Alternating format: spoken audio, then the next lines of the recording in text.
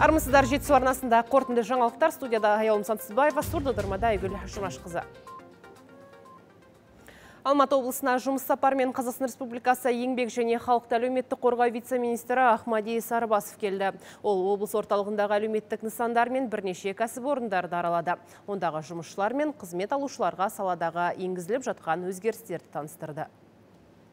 Вице-министр өңірдегі сапарын алдымен шарапат арнаулы әлеуметтік қызмет көрсету орталығынан бастады. Мұнда бүгінгі күні 108 маман 128 адамға әлеуметтік қызмет көрсетеді. Мекеме басшысы олардың жатын орны мен физиотерапия, еңбек терапиясы кабинеттері мен тұз шахтасы бөлмелерін таныстырды. Орталық тұрғындарына әлеуметтік және медициналық қызмет сапалы түрде көрсетіледі. Оған барлық жағдай жасалғантын Ахмади Сарбасов сондай-ақ кішігірім жиын өткізіп, әлеуметтік кодекс жобасына енгізілген өзгерістер жөнінде баяндап ой пікірлерін сұрап білді.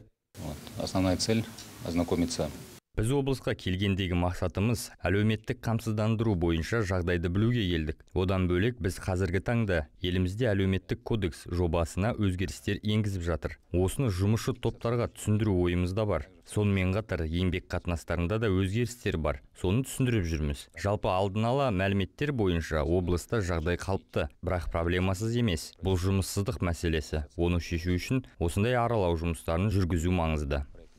Сонымен қатар вице-министр Марвен Фуд Чанчан жауапкершілігі шектеулі серіктестігіне барды. Компания жұмысшылармен жүздесіп, еңбек шарттары жөнінде ақпар алды. Оған қоса әлеуметтік кодексте азаматтарды әлеуметтік қолдау шараларының күшейтіліп жатқаны туралы мәлімет берді. Жалпы аталмыш серіктестік 2018 жылдан бастап іске қосылған. Негізінен тез дайындалатын кеспе шығарады. Кәсіпорында 850 адам жұмыс істейді. Олардың орташа айлық жалақысы 250 мың теңге шамасында. Бүгінде жылдық қуаты 85 мың тонна өнім өндіреді. Оның 70 пайызын экспортқа шығарып отыр. мучная чья это? А, Мука вся наша, Казахстан. Да. Весь, вот, то есть дурум здесь у нас высший сорт и первый сорт. Все местное. В смысле, вот то, что вокруг, а, она подходит или вот? да, да. Севера. Но у нас мука, ну, казахстанская мука лучше, чем российская. То есть мы это, по, это заключение не наше, а это понятно. специалистов с, с России. То есть качество му- муки гораздо лучше по клейковине. Там, Ахмади Сарбасов Қонаев қаласындағы Аям жауапкершілігі шектеулі серіктестігіне де бас сұқты. Кәсіпорын негізі 1993 жылы қаланған. Өндірісте 189 адам тұрақты жұмыспен қамтылған. Серіктестік құрғақ таңғы ас даярлаумен айналысады. Вице-министр мұнда да еңбек және әлеуметтік кодекс жөнінде сөз қозғап бой бөлісті. Айта кетейік, сала өкілі өңірдегі сапары барысында Талғар ауданындағы әлеуметтік нысандарға да барып, тыныс тіршілігімен танысты. Алмат Хамид Айдос Қалиев Жетісу арнасы Алматы облысынан. Талғар ауданының экономикалық әлеуметтік өсу қарқыны көңіл көншітпейді. Әр саладағы көрсеткіш өткен жылмен салыстырғанда бәсең. Бұл туралы облыс әкімі Марат Сұлтанғазиевтің аудан тұрғындарымен жүздесуінде мәлім болды. Басқосуда өңір басшысы тұрғындардың талап тілектерін тыңдап мәселелерін талқылады. Тақырыпты тілшіміз толықтырады. Кездесуде аймақ басшысы әуелі аудан әкімі Қайдар Әбдіхановтың жыл бойы атқарған жұмыстарын саралады. Ірі қаланың іргесінде орналасқан іргелі ауданда атқарылған шаруа аз емес, десе де оң шешім таппай жатқан әлеуметтік мәселелерде шаш етектен. Жиында сөз алған Марат Елеусізұлы өңірлерге инвестиция тарту, өнеркәсіпті жандандырып, ауыл шаруашылығын шалқытуда талғарлықтардың татымды жұмысы атқара алмай жатқанын тілге тиек етіп, сынап алды. алматының төңірегіндегі жанында тұрған ә, аудан болса да облыс өнеркәсібіндегі үлесі небәрі бес те үш пайыз. Салыстыратын болсақ дәл осындай әлеуетке ие болып отырған іле ауданының үлесі қырық екі пайыз ал қарасай ауданының үлесі отыз үш. Яғни бұл көрсеткіштерден алты сегіз есе төмен болып тұр. Бұл тіпті үш есе аз халқы бар қонаев қаласынан да көрсеткіш аз болып тұр. Енді ә, сол себептен бұл ауданның потенциалы әлі алда. Келесі жылды осы потенциалды ары қарай дамытуға жұмыс жасау керек болып тұр. Осылайша аудан атқамінерлеріне қамшы басқан аймақ басшысы алда белсене жұмыс істеп өңір әлеуетін көтеруге бар күштерін салуды тапсырды. Артынша ашық форматта өткен кездесуде аудан тұрғындары тараптан әртүрлі сауал толастамады. Бірі елді мекендерге газ жеткізу мәселесінің кешеуілдеп жатқанын қозғаса енді бірі мектеп пен аурухана сондай ақ баспана бойынша да сұрақтарын қойды. Облыс басшысы әрбір сауал байыппен қаралып өз кезегімен заң аясында шешілетінін айтты. Талғардағы тағы бір басты түйткіл кептеліс. Алматы мен екі аралықтағы күре жол ертелі кеш көлік тығынынан көз ашпайды. Талғар алматы аралығы қазір қанша мың адам жүретінін білмеймін. Талғардан таңғы бесте шықсаңыз алматыға сағат тоғызда сегіз жарымда әрең жетесіз. Бұл кептелісті шешпейінше бұл бүкіл елдің проблемасы. Аталмыш кептеліс мәселесін шешу бойынша облыс әкімі бар мүмкіндікті қарастырып жатқанын айтты. Десе де ауқымды мәселені шешу біршама уақыт қажет етеді. Соған қарамастан келесі жылы тұрғындар тілегі орындалып қалуы мүмкін екенін айтты. Енді алматы қаласымен консультация жүргізіп жатырмыз бірнеше инвесторлармен де кездестік. Өйткені метро саламыз ба не басқа көлік жүйелерін қолданамыз ба бірақ жалпы ол өте капиталоемкий дейміз ғой. Үлкен инвестиция талап етеді. Сол үшін үкіметпен консультация жасап бір шешіміне келеміз. Өйткені ол мәселе алдымызда бар. Біздің повесткадан шығарылып жатқан жоқ. Мынау бак жолын кеңейту ол как раз біздің құзыретімізде. Оған келесі жылы кірісуге болады. Бұған қоса шеткері елді мекендерде қоғамдық көлікпен айғаным сынды ауылда оқушыларды мектепке тасымалдау бойынша түйткілдердің шешілмей жатқаны да сөз болды. Сондай ақ аэропорт маңындағы тұрғын үй иелері баспаналарын заңдастыра алмай жүргендерін айтып шағымданды. Марат елеусізұлы тұрғындарға қолдан келгенше қолайлы жағдай тудыруға бар мүмкіндікті қарастыратынын әрі тұрғын үйлерді заңдастыруда ешкімнің заң шеңберінен аса алмайтынын айтты. Ауылды мекендердің өзінің шекарасы бар. Егер сол шекараның ішіндегі рұқсат берілген үй болса оны заңдастыруға болады. Ал егер ауылдан тыс басқа жерде орналасса рұқсат салуға рұқсаттары жоқ болса әрине ол заңдастыруға мүмкін емес осыдан кейін облыс әкімі көптен бері тұрғындар наразылығын туындатып келген бесағаш ауылындағы хаят апартмент көпқабатты тұрғын үй кешеніне табан тіреді мұндағы бес жарым гектарға жуық аумақта тоғыз қабатты 29 блокты 1050 пәтерлі тұрғын үй кешенінің құрылысы жүріп жатыр. Айналадағы тұрғындар аталмыш көпқабатты үйдің көлеңкесі түсіп біз күннің көзін көре алмайтын болдық. Оның үстіне құрылыс құжаттары да толық емес қауіпсіздік ережелерін сақтап жатқан жоқ. Сондықтан мұндағы құрылыс тоқтаса деп талап етті. Ал марат сұлтанғазиев шағым көтерген азаматтарды келесі апта қонаев қаласында жеке қабылдап мәселені егжей тегжейлі қарайтынын егер компания жұмысының заңсыз екені анықталса тиісті шара қолданатынын айтты. Я вас могу принять на следующей неделе. На следующей неделе можете приехать э, в город Кунаев, вас там жду. Э, мне тоже э, несколько заявлений поступало по вот этому ЖК непосредственно. И этот, и вот следующий, который сейчас в Нурия поедем. сапар соңында аймақ басшысы бесағаш ауылындағы нұрия көпқабатты тұрғын үй кешеніне де ат басын бұрды. Мұндағы бес мыңнан аса тұрғынның жалғыз тілегі әлеуметтік нысандар. Мектеп балабақша аурухана сынды мекемелер салынады деп күтілген. Үште екі гектар жер теліміне құрылысшы компания биыл тағы 16 бірдей көпқабатты тұрғын үйдің ірге тасын қалап бастаған. Сөйтіп елдің наразылығы туындапты. Ал облыс әкімі шағым көтерген азаматтардың алдында құрылысшы компания жауаптыларына жұмысты тоқтатуды бұйырды. Мәселені жауаптылармен тізе қоса отырып жан жақты қарап ықшам аудан тұрғындарына қолайлы шешім қабылдайтынын жеткізді. Құрманжан қасымжанұлы хангелді ахметханов жетісу арнасы. Мұғалім ізденісін тоқтатқан жағдайда мұғалім емес. Алматы облысының әкімі Марат Сұлтанғазиевпен жүздескен ұстаздар қауымы осылай дейді. Өңір басшысымен кездескен педагогтар саладағы өзекті мәселелер мен балалардың қызығушылығы төңірегінде еркін әңгіме өрбітті. Ұсыныстарын айтты. Ұстаздардың ең басты ұсынысы педагогтар арасында әдеп кеңесін ұйымдастырып билер алқасын құрсақ дейді. Ал марат сұлтанғазиев колледж студенттерінің қызығушылығын гастротуризм бағытында дамытсақ деген ұсынысын айтты. Өңір басшысы өзбекстанды мысалға келтіре отырып бізде де бұл мүмкіндіктің барын мәлімдеді. Марат елеусізұлы мектеп лицей колледж педагогтарына әр сала бойынша бала қызығушылығын бірлесе оятсақ деген ниетін айтты. Енді мына жақта сіздер ең үздік мұғалімдер деп кездесіп отырмын сіздер сол жағынан ұсыныстар айтсаңыздар бірлесіп жұмыс жасасақ ол балаларға да жақсы болады.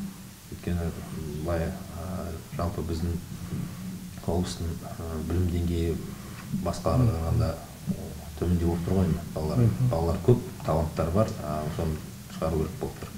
Сол үшін сіздермен бірлесіп жұмыс істейміз. Сіздерге ғана сенеміз ғой ең үздік мұғалім болған басқа кіммен жұмыс жасаймыз.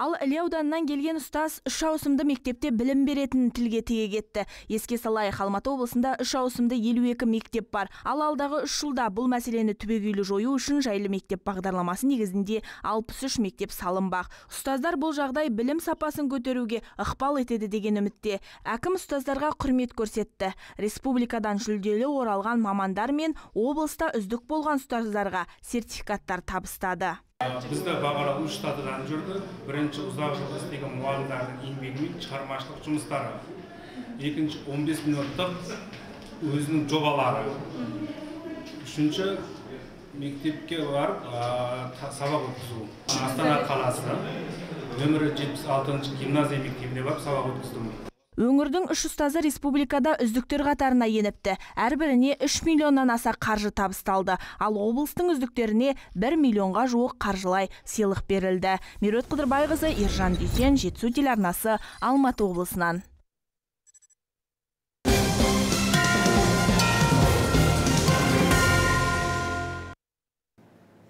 Ақштағы ақ үйде Джо Байден Украина президенті Владимир Зеленскийді қабылдады. Кездесуде қорғаныс мәселесі талқыланды. Одан кейін бірлескен баспасөз конференциясы өтті. Кезек жаһан жаңалықтарында. Ақ үйде Джо Байден Украина президенті Владимир Зеленскийді қабылдады. Кездесуде негізінен қорғаныс мәселесі қаралды. ақш Украинаға 1,8 миллиард доллар болатын кезекті әскери көмек көрсетеді. Оған патриот қорғаныс жүйесі мен зениттік зымыран кешендері кіреді. Украина президентінің сапары Конгресс келер жылы Украинаға төтенше көмек көрсету үшін шамамен 45 миллиард доллар шығындар пакетіне дауыс беретін сәтте болып жатыр. Жалпы Конгресстің қарауында жатқан Украинаны қаржыландыру траншы бұрын соңды болмаған ең қомақты сома болып отыр. Қытайда міндетті тестілеуді тоқтату коронавирустық өлім жітін санын бақылауды қиындатты. Билік қазір жұқтырғандардың санын есептеу мүмкін емес екенін айтады. Денсаулық сақтау саласындағы сарапшылардың ақпарынша, алдағы айда халықтың 60 пайызы коронавирусты жұқтыруы мүмкін. Ковид жағдайларының көбеюі атап айтқанда дәстүрлі Қытай ебін қабылдайтын егде жақтағы адамдардың қажетті вакцинаны салдырмауынан болып отыр.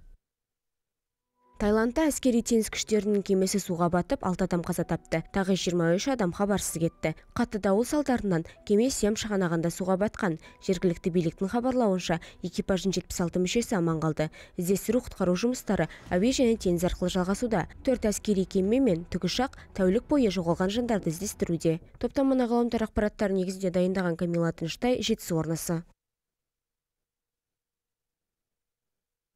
Мемлекеттік қызметшілер біліктілігін арттыруда Алматы облысының ішкі саясат басқармасы мен адам және қоғам қоғамдық бірлестігінің ұйымдастыруымен жылдың қорытынды семинар өтті.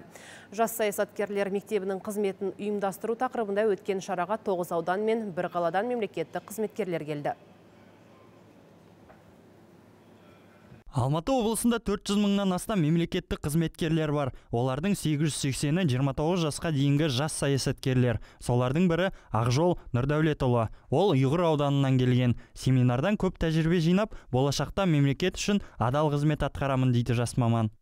Бүгінгі семинардан алған әсерім жаман емес, тамаша деп айтуға болады. Өйткені мемлекеттік қызмет саласындағы біз білмейтін қыр сырын тыныс тіршілігін бүгін тағы да толығырақ нақтырақ тереңірек таныстырды десе болады.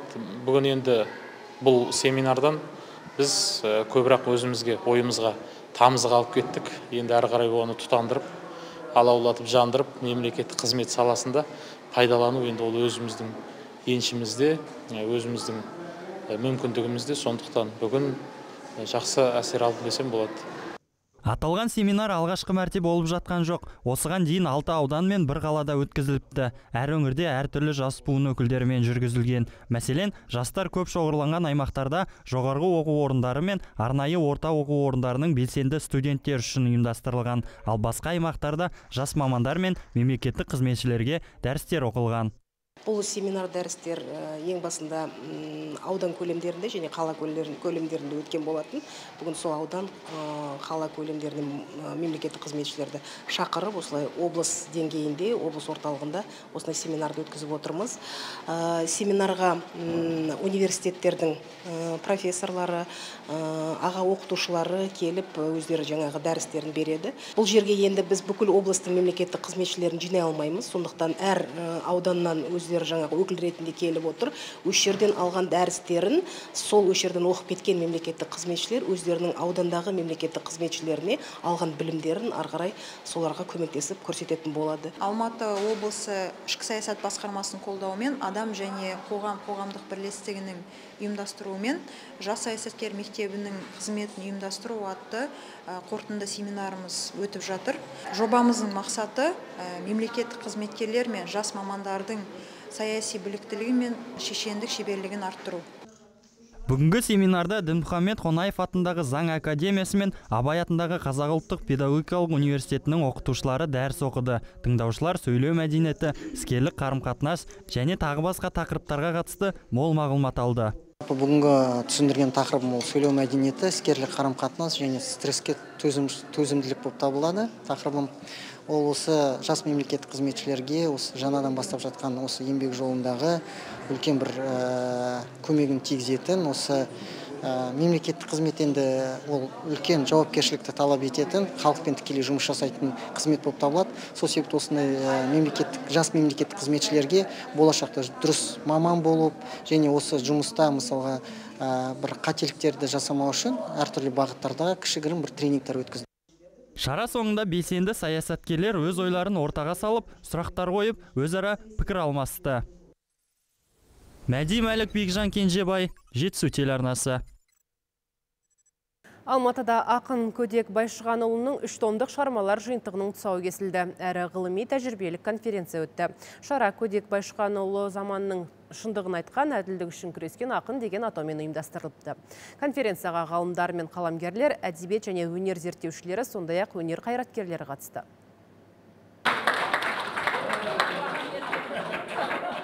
Бұл 20 ғасырдағы қазақ халқының күйін көзбен көріп, бастан кешкен көдек ақынның үш томдық жинағы. Оның шығармашылығына арқау болған да сол кезеңнің көрінісі. 200 мың дана таралыммен шыққан кітаптарда ақиқат пен көркемдік үйлесімі тоғысқан өлеңдері жинақталған. Бұл кісінің шығармалары ерекше құнды шығармалар. Және көдектің шығармашылығы жай ғана өлең сөздің жинағы емес. Бұл кісі өте талантты ақын. Және әрбір сөзінде нәрі бар. Халықтың бұрынғы дәстүрлі ақындық дәстүрінің өнерінің ең жетілген түрін осы көдек ақындық шығармашылығынан көруге болады. Жиын барысында көдек байшығанұлының әндері орындалып ғұмыры мен ақындық өнері жөнінде баяндамалар оқылды. Ғалымдар ақынның қазақ әдебиеті тарихындағы алар орны мен шығармаларының зерттелу деңгейіне де тоқталды. Философиялық көзқарасын мәдениеттану көзқарасын бүгінгі таңдағы жиырма бірінші ғасырдағы жастарға сөйлеу мәнерінің сөз өнерінің қазақ тілінің мәйегін көрсетіп білдіретіндей адам ретінде тұлға ретінде зерттелуі тиіс. Көдек байшығанұлының туындыларын жинақтаушылар жұмыстың мұнымен тоқтап қалмайтынын айтады. Әлі де ақынның өткені болашақ ұрпақ жадында қалу үшін жұмыстар жалғаса береді дейді. Ақбота оралқызы жандос назарбаев айдос қалиев жетісу телеарнасы алматыдан.